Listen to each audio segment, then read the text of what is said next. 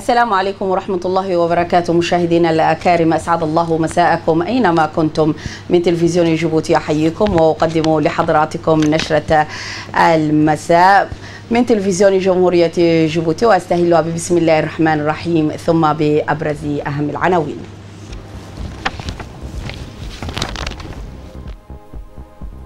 رئيس الوزراء يرعى حفل إحياء اليوم العالمي لحقوق الإنسان.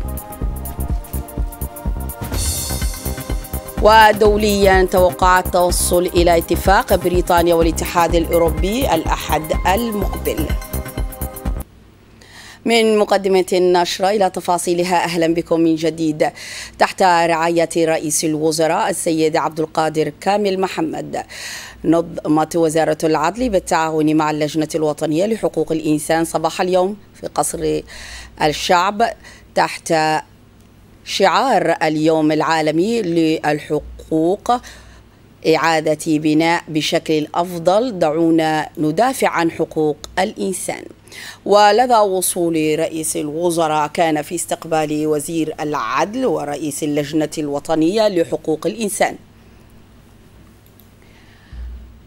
وشهد هذا الحدث مشاركة من أعضاء الحكومة. وزير العدل علي حسن بهضون وأعضاء البرلمانيين ومنسقي منظمة الأمم المتحدة في جيبوتي ومسؤولين الوطنيين والأجانب من بينهم ممثلو منظمات الأمم المتحدة في بلادنا وممثلي الهيئات الدولية والدبلوماسية والقنصليات المتواجدين في بلادنا.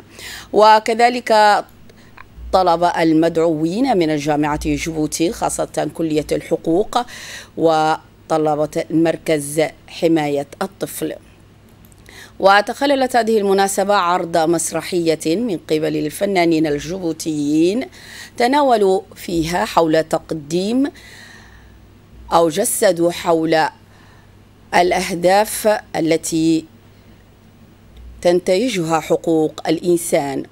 وأيضا حول دور حققتها الحكومة من خلال تعزيز مبادرتها فيما يتعلق بحقوق الإنسان وخاصة ذوي الإعاقة. كما أيضا شارك في هذه الفعالية عدد من الشباب ذوي الإعاقة السمعية حيث في هذه المناسبة قدموا نشيد الوطني بطريقتهم.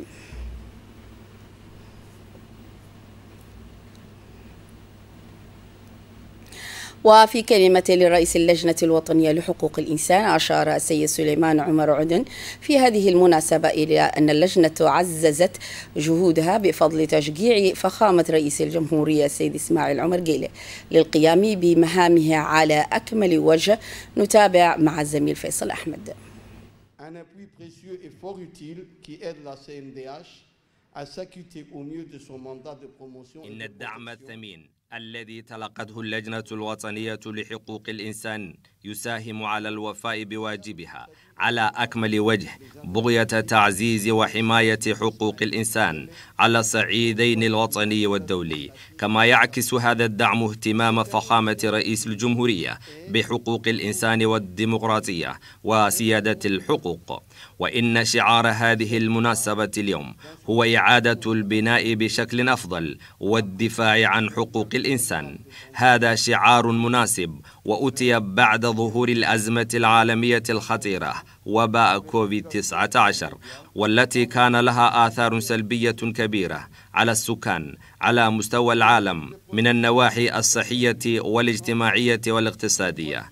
لقد انتهكت الإجراءات الوقائية ضد هذا الوباء حقوق الإنسان في نواح معينة مثل حرية التنقل وحتى مكافحة التمييز كما أدت إلى تفاقم الفقر والعنف القائم على نوع الجنس. تعرب اللجنة الوطنية لحقوق الإنسان عن امتنانها الخاص لفخامة رئيس الجمهورية السيد إسماعيل عمر جيلة وحكومته لعدم إعلان حالة الطوارئ أو حظر التجوال في بلادنا كما في دول أخرى في العالم. من جهتها قامت اللجنة الوطنية لحقوق الإنسان بجهود جبارة لمكافحة هذا الوباء. وهكذا وبمشاركة مؤسسة ديوان الزكاة وزعت مجموعتين كبيرتين من مجموعات النظافة على المحتجزين في سجن جابود المركزي. كما أنتجت فيلما وثائقيا عن تدابير الحواجز المخصصة لضعاف السمع وتم انتهاجه باللغات المحلية وحول الإيماءات التي يجب مراعاتها. تم عرض هذه المواضيع في مراكز تنمية المجتمع ومقر المجالس البلدية في جميع أنحاء المناطق الداخلية. إن الاحتفال باليوم العالمي لحقوق الإنسان بالنسبة لي يعد فرصة لاستعراض إنجازات اللجنة الوطنية لحقوق الإنسان لهذا العام الذي يقترب من نهايته. وخلال عام 2020 افتتحت اللجنة الوطنية لحقوق الإنسان فروعا لها في عواصم المناطق وهذه خطوة كبيرة إلى الأمام في التطوير المؤسسي للجنة. وبالفعل فإن افتتاح هذه الفروع يستجيب لضرورة وجود اللجنة الوطنية لحقوق الإنسان في جميع أنحاء البلاد. وفي كلمة لمنسقة منظمة الأمم المتحدة في جيبوتي السيدة بربرا مانزي عبرت في مستهل كلمتها عن سعادتها للمشاركة في هذا اليوم العالمي لحقوق الإنسان.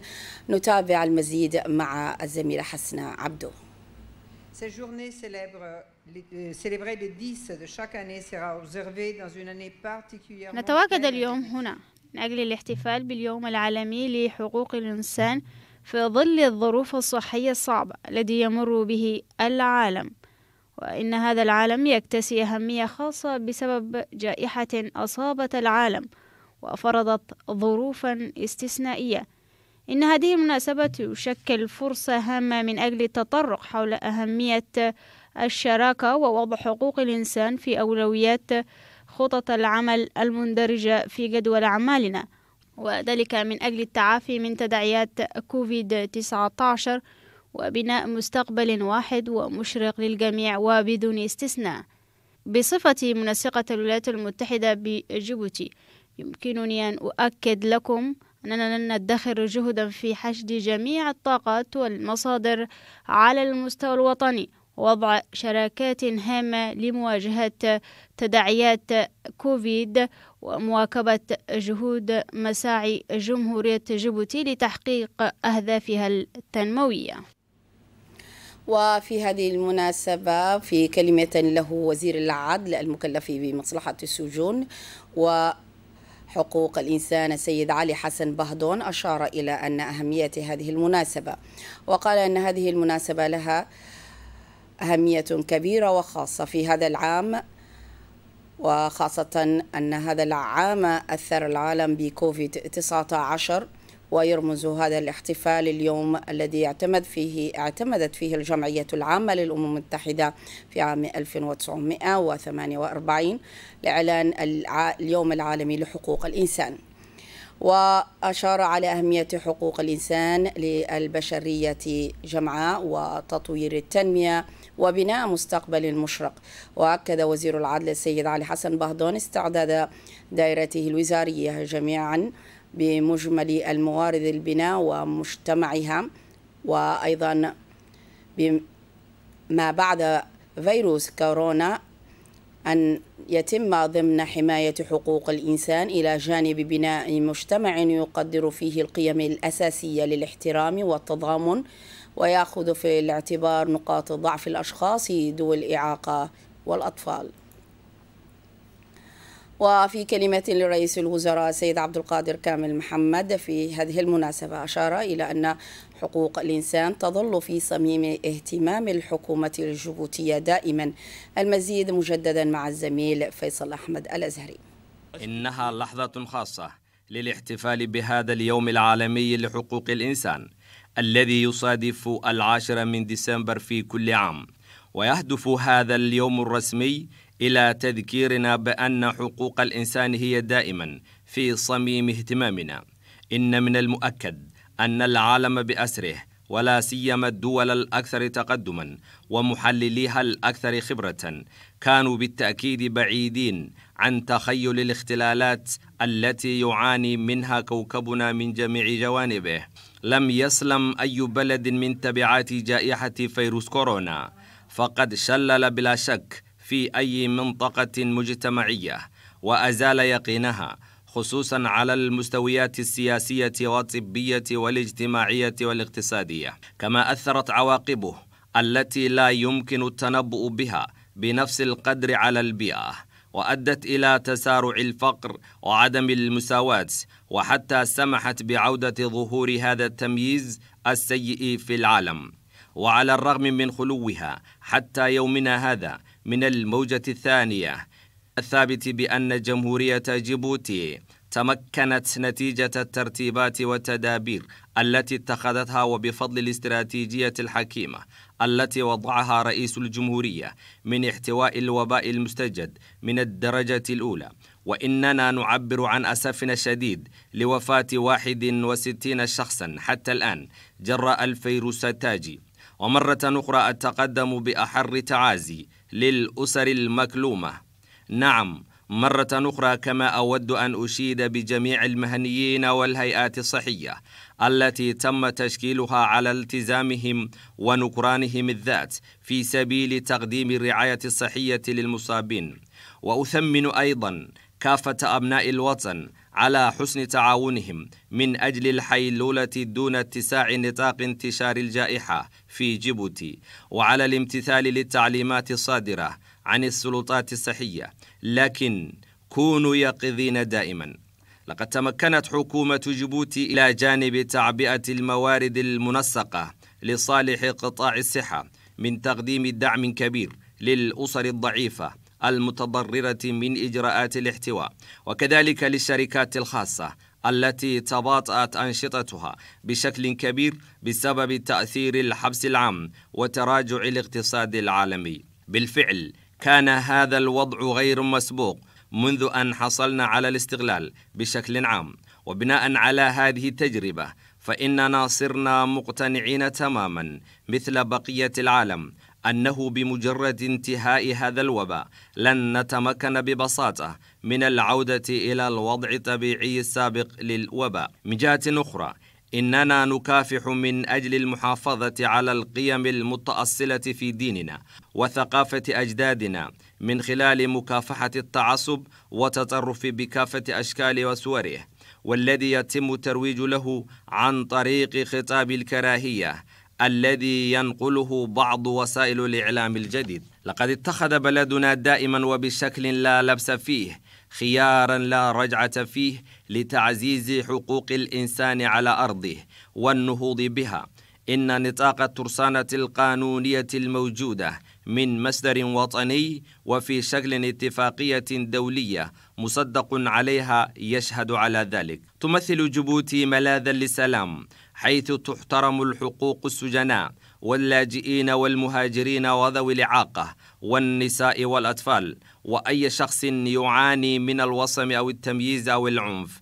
هذه هي إرادة رئيس الدولة والحكومة ككل وستظل كذلك دائما. أخيرا قبل أن أختتم حديثي أود أن أشجع كل عام رئيس اللجنة الوطنية لحقوق الإنسان وفريقه على مواصلة التزامهم بتعزيز احترام حقوق الإنسان بجميع أشكالها والاهتمام بها بشكل خاص. وفي شأن التعليم قام وزير التربية الوطنية والتكوين المهني السيد مصطفى محمد محمود صباح اليوم الخميس بجولة تفقدية إلى المؤسسات التي تم اختيارها للمرحلة الثانية من المشاورات حول السياسة الوطنية. وكان برفقة الوزير الأمين العام للوزارة السيد محمد عبد الله مهيوب والأعضاء المكلفين بالتحضير المنتدى السياسي الوطني حول المعلم. وقام الوزير مصطفى محمد محمود بزيارة تم بعد اختيار لهذه المرحلة في مدرسة سي بي إس حول المشاورات مع المعلمين. ومن ثم توجه إلى الثانوية العامة والثانوية الصناعية حيث ناقش المعلمون حول التوصيات الناتجة من المرحلة الأولى من المشاورات التي نظمت في اليوم الخميس. جميع المدارس في البلاد. وأشار الوزير إلى أن المشاورات تم التعامل معها بجدية كبيرة من قبل المعلمين بتنظيم جيد لهذا اللقاء وهنأ جميع المعلمين والمسؤولين حول هذا اللقاء لتنظيم هذه المشاورات. وأشار إلى الهدف الرئيسي من هذه المشاورة وتبادل الآراء والأفكار. وفي وضع المعلم جيبوتي في قلب الوزارة وهو رغبة سياسة التعليم لبلادنا والذي بدونه لا يستطيع نظامنا التعليمي تحقيق أهدافه. وقال الوزير في كلمة له أنه واثق من مستقبل حيث أبدأ المعلمون من جميع المستويات التعليمية اهتمامهم بهذه التبادلات حول هذه المشاورات وفهم نطاق الطبيعة هذه المشاورات مع الوزير. بسم الله الرحمن الرحيم. نحن اليوم في مركز التكوين المعلمين استدعينا هنا لمشاركة دورة لمشاركة مشاركة عامة للمعلمين جمهورية جيبوتي كلها ونحن ممثلين المدارس الأهلية. قد جئنا هنا وشاركنا زملائنا في المدارس الحكومية. شاركنا معهم وقدمنا آراءنا لسيد الوزير ونشكره على الحضور وعلى استماعه لنا وسعة صدره لنا وأخبرناه جميع ما كنا نحتاج إليه وكل, وكل, وكل احتياجاتنا أو طلباتنا أخبرناه كتابة وقولا. ونحن طلبنا بدورنا لما لم ندخر شيئا طلبنا ما بدورنا كل ما نحتاج إليه. ونشكر السيد الوزير ونشكر الموظفين الوزارة جميعا ونحن يعني مسرورون بهذا اللقاء وسعداء بأننا هناك من يهتم لأمرنا ولأمر المعلمين وخصوصا في المدارس الأهلية العربية. ونشكر الوزير والوزارة لهذا اللقاء الجميل. استقبل معالي وزير الطاقة المكلف بالموارد الطبيعية السيد يونس علي جدي في مكتبه. ممثلة برنامج الأمم المتحدة للإنماء. السيدة فاطمة شيخ وذلك برفقة المستشار الفني السيدة شانتي كارني.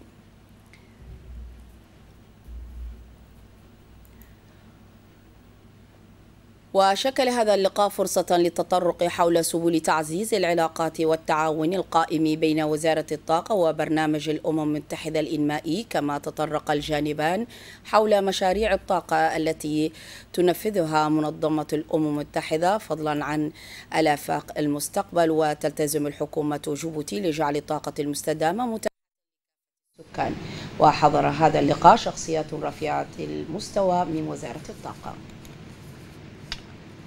برئاسة أن برئاسة النائب شرماكة موسى آر اختتمت اللجنة المالية والاقتصادية العامة والتخطيط صباح اليوم الخميس مناقشة مشروع قانوني يتعلق بتنظيم موازنة الدولة في السنة المالية 2019 وشارك هذه الجلسة أعضاء هذه اللجنة وغيرهم من نواب الأعضاء في اللجان كما شارك فيها كل من وزير الميزانية و والداخلية والإسكان وكوادر من الوزارة المذكورة. هذا وحالة اللجنة المالية. هذا المشروع إلى الجلسة العامة المقبلة للبرلمان. تسلم الأمين العام لوزارة الصحة الدكتور صالح بنيتة تراب دفعة كبيرة مكونة من الأدوية الطبية الوقائية من كوفيد 19 والتي سلمها السفير الأمريكي في جيبوتي أندري لاري. وتقدر هذه الهبة بقيمة خمسة ألف دولار أمريكي. قدمها الشعب الأمريكي لدعم الشعب الجيبوتي للوقاية من وباء كوفيد 19 وتسلم الهبة في مقر المركز لشراء الأدوية والمواد الأساسية. حضر مدير المركز للأدوية الدكتور أحمد حسين وعدد من المسؤولين بوزارة الصحة. وهذه الهبة القيمة ستؤمن بيئة آمنة للعاملين الصحيين الموجودين في الخطوط الأمامية والعاملين في الحقل الصحي. وفي مداخلة للسفير الأمريكي أندري لاري أشاد بالنجاح الذي حققته وزارة الصحة الجيبوتية وفرق الصحي من أجل احتواء وباء كوفيد 19 بشكل كبير في مجمل التراب الوطني. وشكر الأمين العام للصحة الدكتور صالح بنيتة تراب في هذه الهبة. وأشار لاري بأن هذه الهبة هي دعم مقدم من الشعب الأمريكي بمبلغ خمسة مليون دولار خمسة ألف مليون دولار أمريكي لمساندة جيبوتي في مكافحتها بوباء كوفيد 19 في إطار تنفيذ برنامج صفر أحياء عشوائية وبمبادرة من وزارة الإسكان قام المدير العام للوكالة تأهيل الحضري والإسكان الاجتماعي السيد عبد الرحمن علي أحمد أمس بتسليم الدفعة الأولى مكونة من ثلاث سيارات لمحافظة جيبوتي.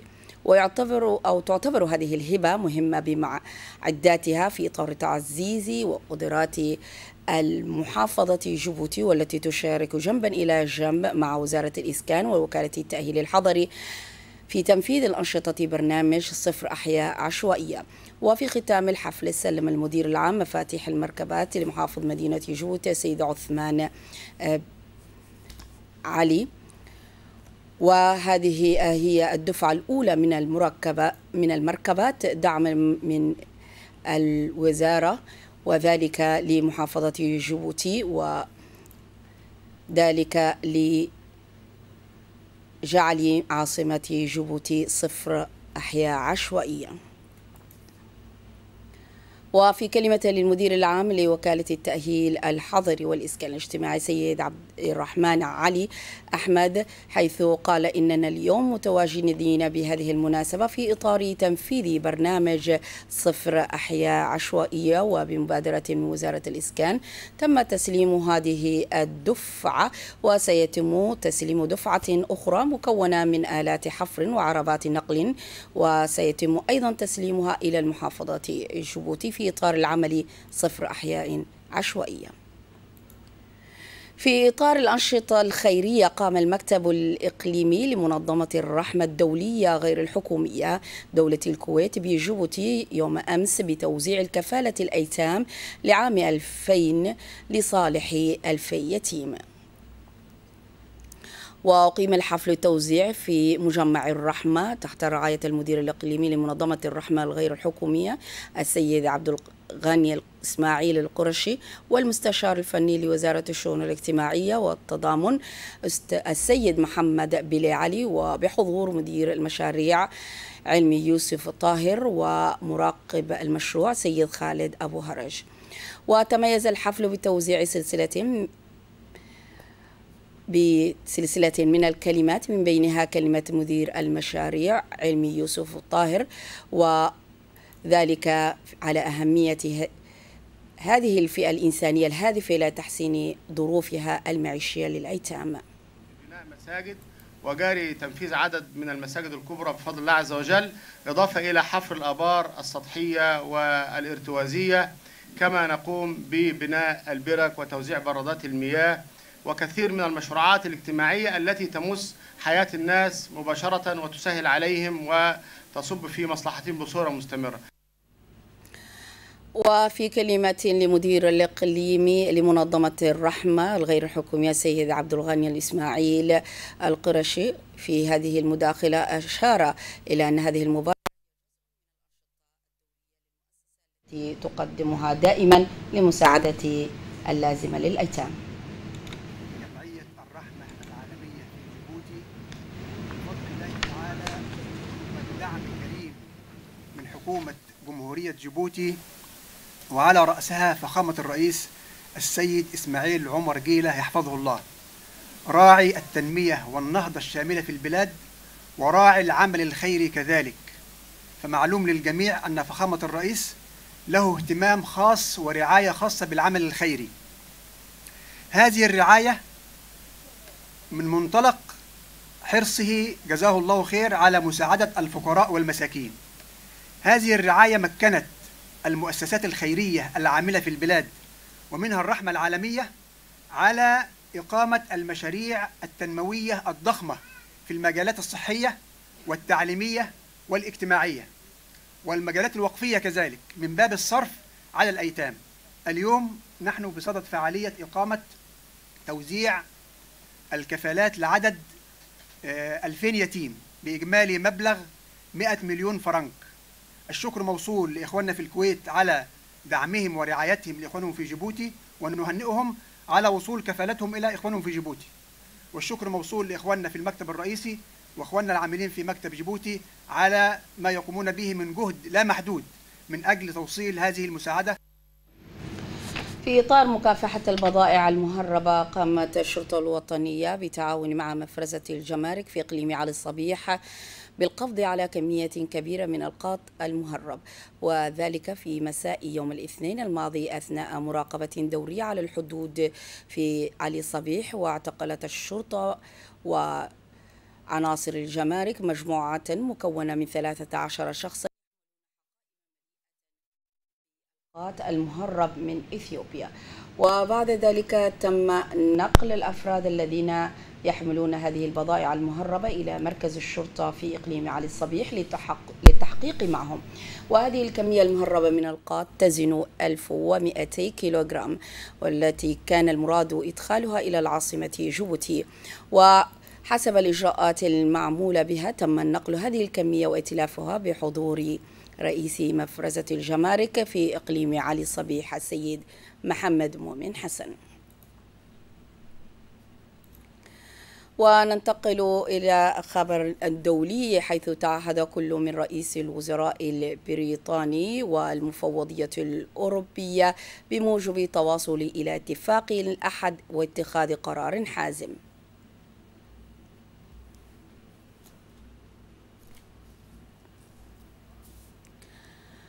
وفيما يتعلق بالمفاوضات بعد بريكسيت من جانب آخر بدأت رئيسة المفوضات المفوضية الأوروبية غير متفائلة فيما يتعلق بشروط الاتفاق التجاري للمرحلة ما بعد بريكسيت. وقالت أن موقف بروكسل ولندن لا تزال متباعدة جدا.